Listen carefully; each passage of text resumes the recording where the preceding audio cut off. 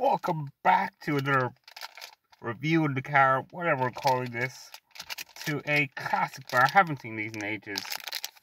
Got a few lately in the shop. Yeah, um, I'm trying to look out how much, how large the bar is. Um, 70? Let's see.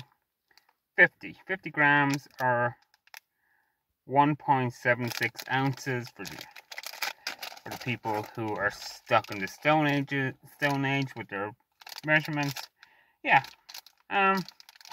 So let's I see what it says about it. Uh, that's not. Let's open it. Let's see about it. Let's see it. Uh, this costs a euro so, a bit cheaper than other bars, but it's a mainstream bar. Um, so I'll take the bar out, show it to you, see what you think of it. So, that is the bar. Let's stick it back in there. Let's break open a bit. There we go. So, we have your caramel kind of inside. We have your outer with a nuts. Uh, yeah. Nice crunch to it. The caramel adds a bit of texture, nice texture to it.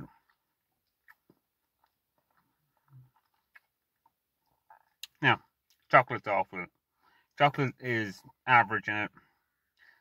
The caramel is not great. They have a well, they had a mint one, and there was none left in the one store. Had maybe the mint one would be a bit better. It would add a bit, just add that extra bit of flavor.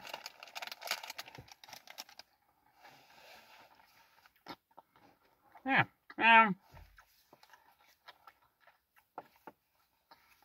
I'm thinking should I should I have a a rating scale? So let's go, let's go over to 10. Um, cost wise, for the size of the bar, it's okay. Um, quality, not the best. Um, yeah, so let, let, let's go 4.5 out of 10. Uh, there we go. Uh, I'll see you next time. Has been another car. I was to say beer. It's been another car review. If you want me to review other thing other than chocolate, I think this is the third one I've done. Um, yeah. If you want to review anything else, pop it in the comments. Um, I'll probably ignore it, uh, knowing me, and uh, we'll forget about doing reviews in the car. See you next time. You've been amazing.